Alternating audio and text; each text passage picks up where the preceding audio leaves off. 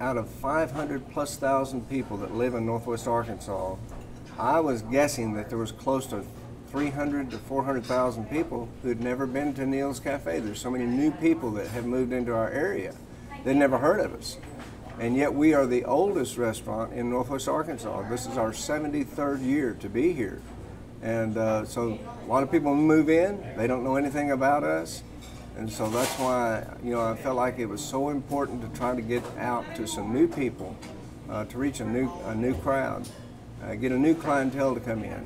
And um, something else that, um, you know, since we ran the ad back in August, and we ran several of those through the months, through the year, um, I've had 10 record months in a row. And I have shared this with other businesses that are not right in my area. I've shared this. I've shared the results that I've gotten with some other business, some other restaurants, and uh, and I believe that that I those restaurants took me for my word on it, and they did some advertising with Channel Five also. So it wasn't just you didn't just reach me; you've reached some other restaurants.